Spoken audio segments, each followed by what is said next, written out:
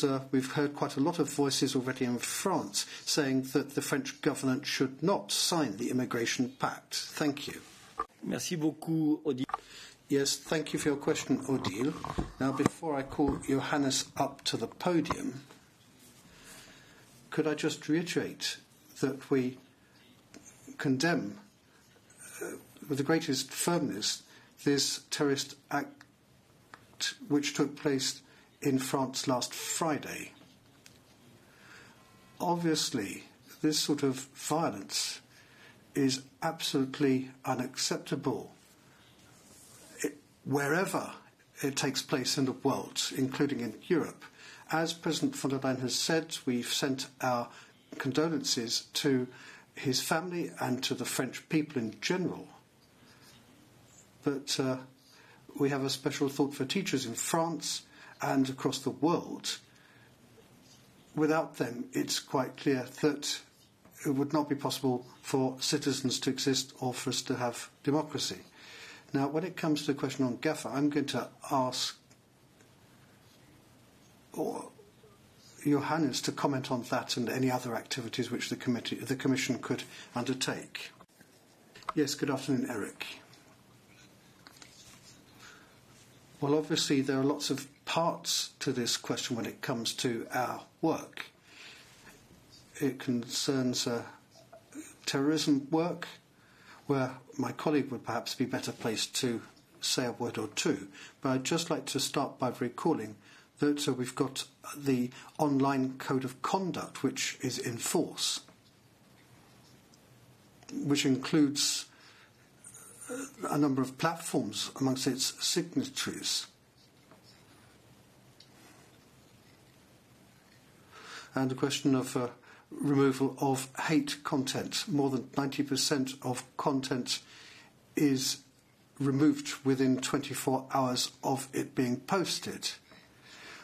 Also, we work very closely with member states and Europol and other players in this area So this is something we take very seriously indeed. As you doubtless also know, soon we're going to be making a proposal for a Digital Services Act. So a law to deal with online services. It's not just against terrorism, I have to stress that, but its aim is nonetheless to set up standards when it comes to illegal online content. So online content, terrorist content online, and other forms of content too. So that's what I can say at this stage. But perhaps uh, Adalbert could actually tell us a bit more about this. Yes, thank you. Let me give the floor now to Adalbert for the second part of your question on migration policy. Adalbert. Yes, thank you. Well, perhaps I could just start by responding to Johannes' uh, encouragement to say something about online terrorist content. I'd like to say that there is a EU crisis protocol, which is an initiative concerning member states, Europol, and companies uh, to say, internet platforms. And this crisis protocol was activated by the French authorities on the 16th of October. They asked Europol to identify and to help them uh, remove content linked to, to this attack, in particular the pictures of the victim. Europol did exactly that. The protocol uh, continued to be activated until the 18th of October, and 65 instances of that content were identified on nine platforms. So what action was taken to stop that uh, content being uh, disseminated. When it comes to terrorist content online more generally, I'd just like to recall that in 2018, September 2018, the Commission proposed a regulation on online terrorist content, and its aim was to ensure that that content could be taken down within an hour. Negotiations between the co-legislators are still underway on this regulation. We think it's necessary for us to make progress urgently on this proposal. And so we support the co-legislator very actively and a trilogue has been scheduled for next week. So that work is underway. And then finally, on your question relating to the Migration and Asylum Pact, now I don't know whether I need to comment on this specifically or to make any specific uh, links between migration policy as a whole and this terrorist act, this criminal act.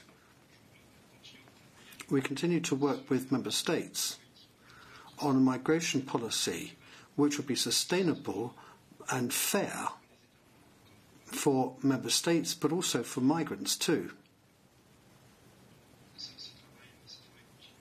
So the work is underway, and we're working there very intensively indeed. Beaucoup. Yes, thank you very much, Adalbert and Johannes. I'd just like to know if there are any further questions on this subject. Raised, um, if you have a question on, uh, on these issues for the moment, we will come back to other issues afterwards.